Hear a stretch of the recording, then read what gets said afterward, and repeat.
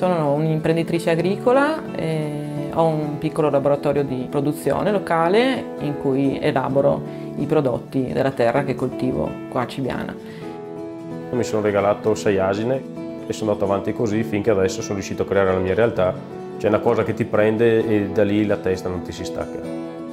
Quando sono insieme ai miei animali mi sento semplicemente io, riesco a capire veramente quello che per me conta, quello in cui credo e che vorrei portare avanti.